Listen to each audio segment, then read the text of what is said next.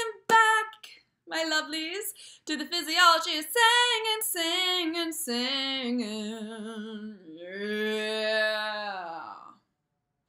Um, I really debated whether or not to do this topic at all because I really want to get to this other topic, which is like why we all sound different on recordings and why when we listen to ourselves we're like, that's what I sound like. Are you serious? But then I thought, no, I really need to like stop for just a second and get onto muscles of the face, particularly like what to do with your mouth when you're singing, right? Um, because it can be kind of a tricky thing and it is pretty important and i think there's a lot of questions about it both in belting belt singing but especially in classical singing i think embouchure becomes a thing embouchure embouchure what embouchure like how you're what kind of is your default baseline shape essentially for your oral opening? And the answer is, of course, it varies. Depends on your vowels, depends on the words you're saying, depends on how loud you're being. But let's unpack that a bit. And then I also want to address a little bit of jaw stuff just because TMJD, temporomandibular joint dysfunction is something singers get pretty obsessed with. So I do just want to bring that up briefly if you have any questions, if you have jaw stuff. So, in true me fashion, I am not going to go through each muscle of the face individually. If I can figure out my right to left appropriately, and this doesn't take me forever to do, what I am going to do is take out my little preclinical speech science book, my super low tech way of doing this, Oh, I'm gonna whip this guy around. Hey. And okay, there we go. I figured it out pretty well today. Hey. Okay, it's a little, a little bit of an angle, but anyways, here's the muscles of the lips. Muscles of the lips. I honestly straight up have no idea how weather people do this because I cannot figure out right to left very well. So the fact that it's reversed on my screen, seriously, you guys are like super amazing to me. Okay, side note. Um, so yeah, tons of muscles around here, right? You got these like circular looking one right here. This is the orbicularis oris. This is the muscle that's the reason why we can go like this. And also, so side note, the reason why if you're to quote Wayne's World and you're to call someone an ass sphincter, please include the ass part before it because you actually have a sphincter. The orbi- uh, orbicularis oris is a sphincter. It, it's of your mouth though, and you do have a separate sphincter muscle for your bum hole. So when they say ass sphincter says what, and he says what, they're calling him a butthole. But you need the butt part of it. Okay, just the more you know all right? Helping you to keep your uh, insults and movie quotes accurate, right? That's what we really want is accurate, anatomically based insults slash movie quotes. My, my, my hidden goal for this blog. okay, anyway, back over here. So as you see, tons of muscles here. You got like buccinators, those are kind of your cheeks, kind of muscles that do help you with that sort of thing. Your zygomatics that have to do with some of the smile you do, mentalis, you know, you get to pull down on that. This big old guy here, this is the um, platysma? Platysma? I think that's how you pronounce that. It's actually really, it looks like a huge muscle, but it's actually really, really thin. So it it's um, my understanding is it's almost more of like a stabilization muscle. It doesn't do it doesn't actually have a lot of strength to it because it's extremely thin. It's like a sheet thin that kind of goes from here on your jaw and then kind of down that way. Go figure. All right. So um, anyway, lots of muscles. What's up? And um, the reason I'm not really going to go into a whole lot of it is because you can essentially activate these muscles thinking about a lot of different things. And one of the ways people do that when they're thinking of classical singing is like you're smelling a rose. Activates a bit of that sort of all those muscles that help you, help you with smile. And when people talk about having an internal smile when they sing, a lot of times they actually get an external smile as well. they have a little bit of a lift there, right? Um, so classical singers get really into that. I'm going to unpack that uh, concept, I think, in in just a bit. Let's actually stop off at temporomandibular joint. Sounds fancy. It's essentially just your jaw joint. So if you put your fingers back here and you feel like just open your jaw and you feel around where the muscles are moving, or sorry, the bones, sorry, you'll actually feel the bone coming out. All of that back there. Um, way back here. Yeah. That's your temporomandibular joint. If you have a problem, temporomandibular joint dysfunction, TMJD, which some people just say they have TMJ. Um, TMJD is sort of this umbrella term for somebody has a lot of pain in one side of the jaw or the other, maybe a lot of po- painful popping, painful clicking.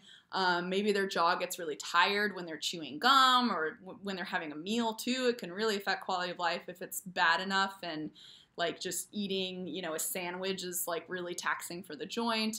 Um, if you think you might have something like that. Now, popping and clicking is okay if it doesn't hurt. If it hurts, okay? So if on one side or the other it hurts and you're concerned about it, like you can't seem to really relax your jaw enough for singing, okay?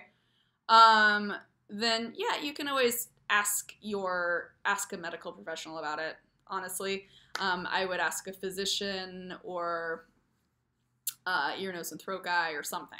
I would bring it up. Maybe even a dentist. Dentists actually know a fair amount about jaws. Go figure, because of teeth. Um, so yeah, uh, next time you're around someone like that, you might want to ask about it.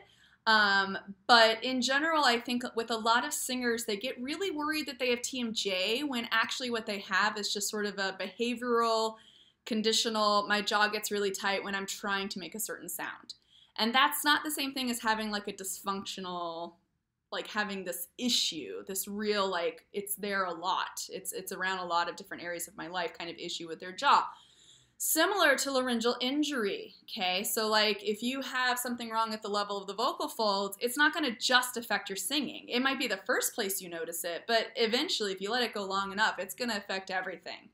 Um, when I had, I still have my paresis, but when I had the muscle tension dysphonia secondary to that, it's um, that affected my speaking voice. By the time I got it looked at, getting through a whole day of talking was exhausting and hard, and it was hard to be heard. And I was having a lot of these issues that are very common with muscle tension um, due to trying to compensate for this paresis that I currently have and I still do have.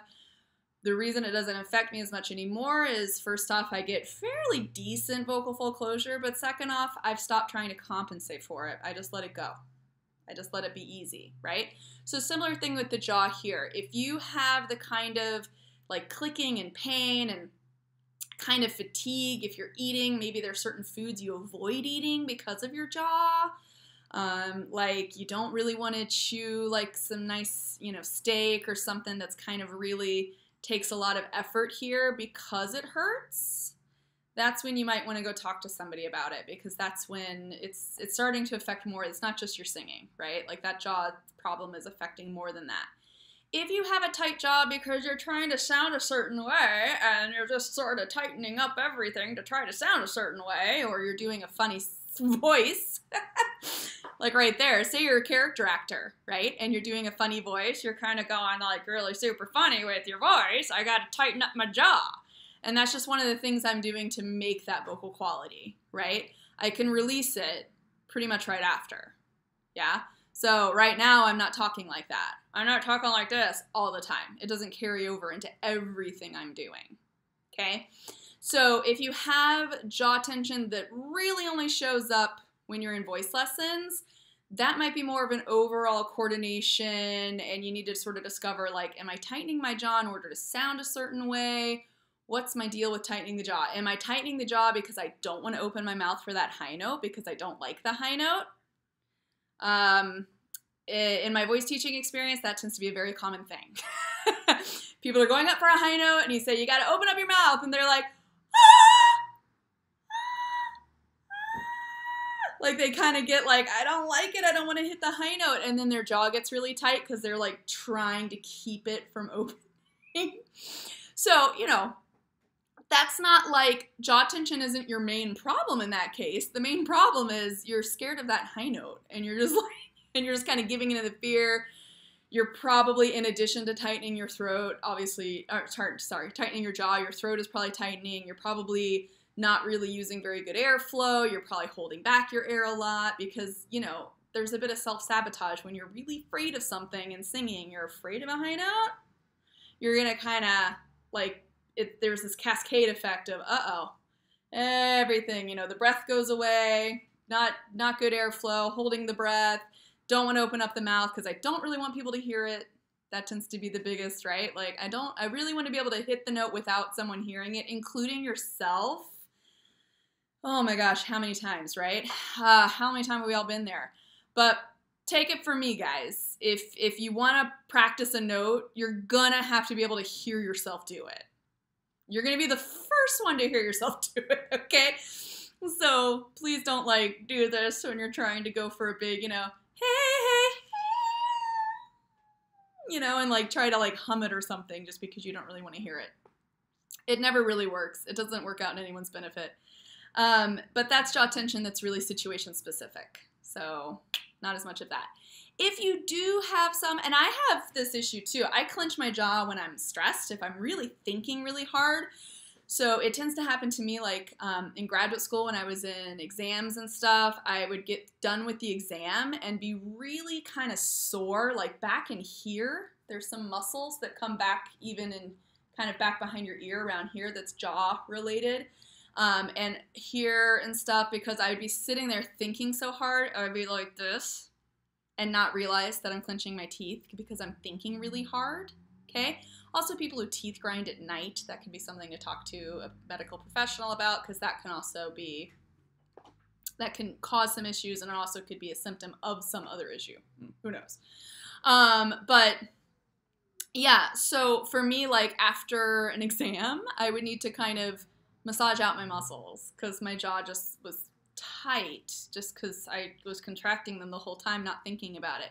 Situational jaw tension still didn't really want it to be around all the time. And also the fact that it gave me kind of tension headaches back here was not the best. So um, I would usually just massage back there, kind of taking pads of my fingers and just kind of give myself a nice massage right behind the ears. It kind of feels good. It's kind of like what um, hairstylists do when they give you that shampoo and it's like super nice. They're like taking the hair and like massaging you under there It's those muscles, the ones where you're like, oh yeah, that feels so good when they give me that shampoo massage thing. it's like you're doing that to yourself, essentially, back there, um, without the shampoo. and then I guess with the shampoo too, and you're in your shower, why not? Then the other place to massage would be your masseter muscle. Your masseter is really big. It was not on that picture actually, but it's a big, thick muscle. It's your powerhouse for biting and chewing. When you bite into a really crisp apple, hum, the masseter is the one that gives you the power to like really bite in there. Obviously, you need the teeth to cut into the apple, but the masseter is the muscle that's really giving you the force to like bite into it and pull off that chunk, right? So it's a muscle that closes the jaw um, and closes the mandible, which is your lower jaw. Your upper jaw doesn't actually move in humans. We don't we don't do this we're not like Pac-Man. Sorry. What the heck? I can't even go sideways. Here we go. We're not like Pac-Man. We don't do this. We just do. Oh, that's okay. This is like really hard to. Why did I do this? Okay, we do that. sort of. Gosh, should have practiced that beforehand. I guess, right? Like, I can't. I can't. I can't do it. Ah, okay. you guys missed me, right? I'm the best. Okay. Um. So, yeah. So our jaw opens kind of down and back a little bit. It kind of hinges like that. Uh, mm. So when you're really open, your jaw is actually kind of down a little bit and back a little bit. Um, we'll get to that in a second too, because singers also sometimes jut their jaws forward, especially belters. I'm getting to you. I'm getting to you. So um, if you put your fingers right at your cheek and then clench your jaw, you'll feel a muscle pop up. That's your masseter. You can massage into that guy. Exactly where you felt it go, you're going to massage into it and just kind of release it. You can also do the like heel of the hand kind of from your cheekbones, just kind of letting Gravity trace down. This one feels really good. It looks weird, but it feels good. Uh, I'm just being really slow with it and easy. But that's all to help that muscle release. If you're like me and you clench your teeth when you're thinking really hard, when you're in deep concentration, you're taking tests, wherever it is, maybe with nerves, you start to clench your teeth, and you feel like you need to give yourself a little massagey poo before, say, like an audition or something, it's a good one to massage. I would stay right where I can feel that muscle. Sometimes people want to massage right above the joint. And in fact, I probably spent a good 10 years or so massaging literally above my joint and always thinking, gosh, my jaw's always so sore because I'm was massaging here. Now, when I feel my masseter, I'm like here. See, it's kind of it's it's forward of the joint where I actually feel the muscle. The masseter is big enough that it does run all the way. Like it's a thick, big, thick muscle. It does run far back. But um, the issue is if you can't feel it, the further back I go, right around here where I feel the joint, and if I start pressing in, I think it's sore because I think it's muscle soreness. It's actually a gland. That's one of your salivary glands. And glands do not like being massaged. Glands don't like being touched, they don't like being put pressured on. Glands are just like, let me just secrete my saliva and leave me alone. Okay? So if you're if you're like me for like 10 years massaging way back here and thinking, gosh, my jaw's always so sore back there, it's probably the gland that you're touching. It might not be the muscle. So just stick with the masseter. And then you can do like some presses and stuff for under here. But you know, stick to where you can feel the muscle and just really focus on that part rather than trying to go further back and being on a gland. Pro tip don't massage your salivary glands. Massage just the muscles, okay? All right, so that's jaw business. Like I said, jaw tends to open back and down. Uh huh. Even if I'm belting, even if I'm belting, belting. Yeah, I'm trying to make sure I'm still going back and down. I think I am. Belting. Mm, yeah, probably. Something. It doesn't feel tight and I don't feel like I'm jutting my jaw forward. That is something I see a lot with belters sometimes, is they'll be like, ah, ah. and if I jut it forward, you can hear that it kind of became like super hyper, hyper nasal out of nowhere. It's like my sound completely shifted, right?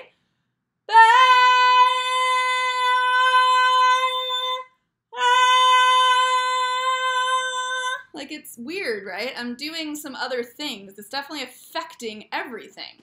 Just because, you know, it, it's all going to be connected through ligaments and tendons and all this stuff. And so jutting it forward is probably pulling on some of those other internal muscles. Why it's getting super hypernasal, I'm honestly not 100% sure. Maybe it's some passive connection to the to the um, soft palate. You know, it could be. Um, it's not something that tends to be addressed very much in speech and hearing science, I gotta say. Um, so it might be that there's some passive connection there through like tendons and ligaments and things that are causing that. Um, but in general, that can be a thing where someone's trying to manipulate the sound a little too much, and so their jaw's coming forward, and now their sound's gone really funky. So usually, my tip for that is to make sure it's it's opening in more of a naturalistic, it's like, you know, it can be more of a naturalistic, hey, hey, hey, we're over here, hey, that kind of an opening. Like you're shouting for something, not not like a you're trying to make a special sound, right?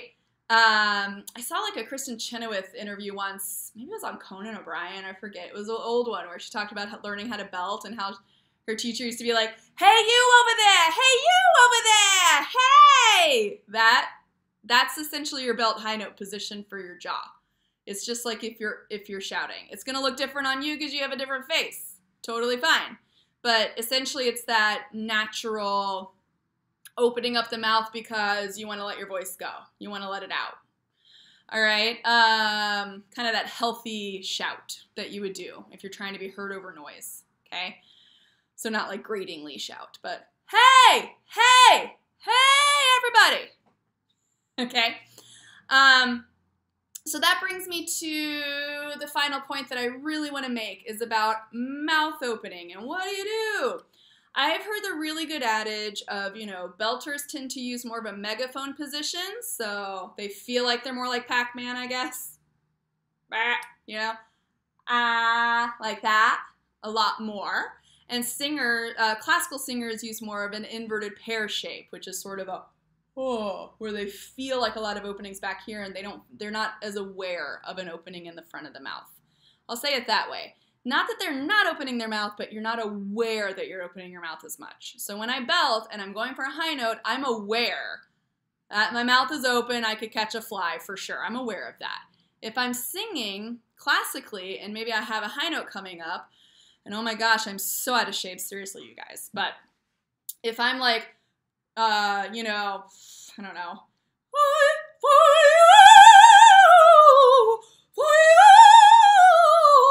I needed to ease it up a little bit.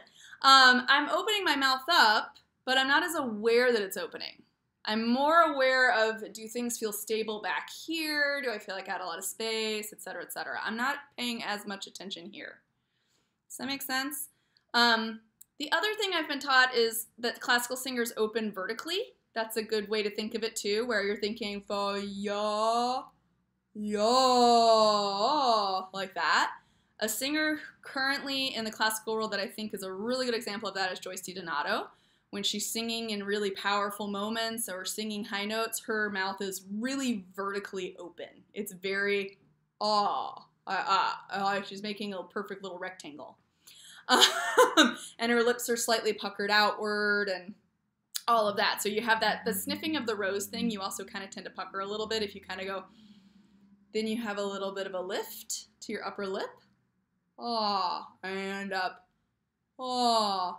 I also heard it as like pinch the lip and pull that forward so you can feel like you're really got that lift in your upper lip. I've heard make sure you can see the upper lip through your peripheral vision um, instead of your lower lip, really show off your upper teeth. I've heard all kinds of things about lip placement for singers, just trying to get, I think, Thing is, if you puck your lips out a little bit, you get just the littlest bit of a boost to the lower harmonics. So you're lengthening your vocal tract a little bit, which means lower harmonics get more excitable. That oscuro quality that we're going for as singers becomes a little more apparent.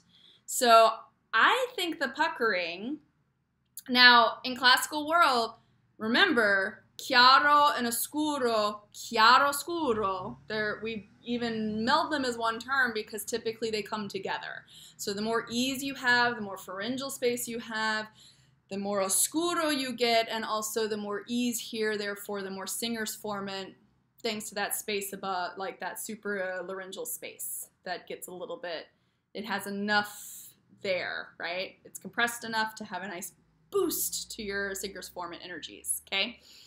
So if you pucker your lips, you're going to get a little extra boost on the oscuro. Probably by default, you get a little extra boost from the singer's formant too. The chiaro comes along for the ride.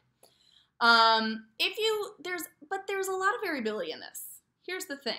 So if you watch, and I know I'm already running a little late, so I'm going to try to wrap up here in the next couple minutes. But if you watch various classical singers, if you watch Kiri Te Kanawa singing or Arleen Auger, I'm going to list a lot of women because I listen to a lot of women singers because I'm listening to them because I'm learning the songs that they're singing. So, especially like Mozart and stuff.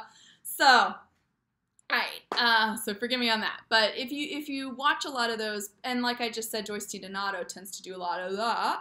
Arleen Auger, Kiri Te Kanawa, they don't tend to open vertically as much. They're much more with that internal smile, looking a little like I'm just sitting here singing this amazing Mozart aria. That's all I'm doing. I'm, you know, just hanging out. They tend to look a little more like that.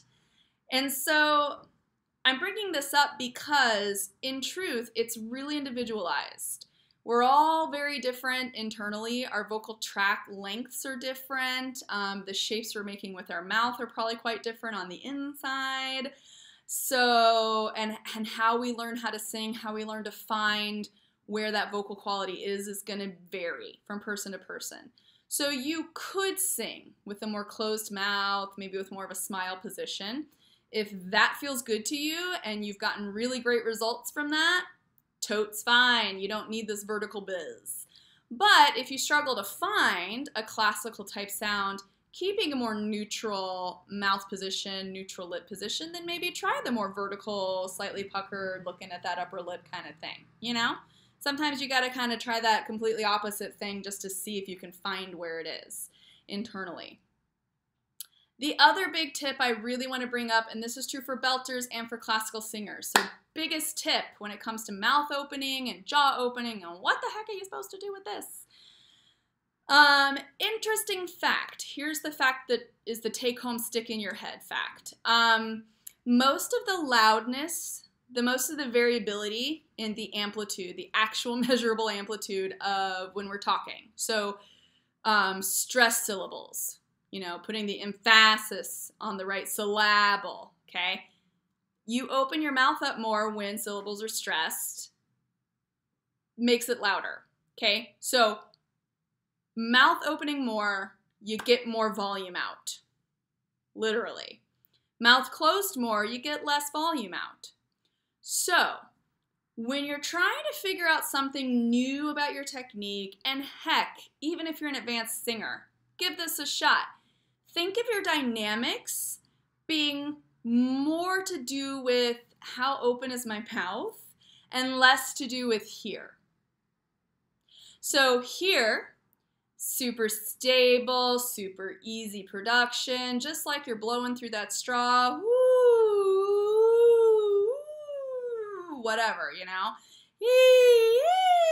Keep that really stable. For dynamic contrast, think about if I can make my jaw just a tiniest bit more closed. So a small change in how open your mouth is can actually make a really big difference in the amount of amplitude you're putting out. The amount of, like, loudness is what we hear as amplitude changes, but I'm talking genuine, like, amplitude changes. Like, you can measure these suckers, okay? So, if you need to sing soft, try closing your mouth just enough, like not enough to make it tight if you have to do like a really soft, floaty high note. But watch several singers. I would challenge you with this. Watch several singers in your style who are really great singers who you feel have a really nice ease to their singing and watch them when they sing a high note, soft versus loud, and see if their mouth is more open on the soft or more closed compared to the loud, to their loud. You got to compare it within the same person because we all have very different looks, right? So in pop, when you're trying to go up for those falsettos like the I keep it really closed because falsetto-y high notes are really soft. They're pretty soft, easy things. It's easy for me to access it with a closed mouth. Most singers do that, right? You don't often hear like super high, like you might, but you hear keep it closed. Same thing with a lot of belt world. So when the mouth is closed, they might be singing more in a head voice, yeah. And then when they want to get a little more power, they start opening their mouth more. If only you knew. Right? If only you knew. that that's how that works, essentially. So think of your dynamics kind of being with your articulation essentially and your syllable contrast and all that stuff, really more up here because this stuff can move around all at once if you have ease here and you're able to keep that pharyngeal space and the breath. You're able to keep essentially from here down should feel, feel being the big important word here. It should feel pretty stable, pretty uniform as you're singing in any style in my opinion. Should feel pretty even, pretty even, pretty uniform, and then you have a lot of changes up here happening. So it's kind of like waves on the surface is here, right? Waves on the surface of like a lake or something, maybe a windy day, lots of change here, fine, as long as the deeper waters over here fairly stable, fairly consistent. I guess a river is a better notion because you can have waves on the top of a river, but you still have a current. And the current is not a wave. The current is this ongoing thing that's very stable underneath the water, right? So it's like the deeper levels of the water all moving along. It's the idea of the voice. I like to think of the voice being related more to that current and the words you're singing and the dynamics and that sort of stuff. The more fluid things have more to do with oral cavity. Amount of opening at the lips, how you're shaping the lips, blah, blah, blah, blah, blah. Okay? So I'm going to let that go because that's 30 minutes and that's a lot. so, as much as I thought, maybe I don't need facial stuff, here I go, making a lot of facial stuff. What, what? Okay. But it relates to mouth opening because jaw is essentially that's the biggest way you open your mouth. Yeah, you can open just your lips like that, but really, you don't do this as much. You do that. You tend to open your jaw more. So, kind of relates to face, jaw, etc., etc. All right. So, um, I will see you guys next time. Please let me know if you have any questions. And the next post is essentially going to be the end of the physiology part, although I could go into neuroscience type things and go more into learning and how we learn uh, different aspects of learning, essentially, like in terms of learning motor coordinations, memory, et cetera, et cetera. So if you'd like to hear that, let me know. I could do it. I'm hoping I don't get too um, stodgy with that though. So, because being neuroscience, I can just start talking way too long about it because it's super cool and interesting to me.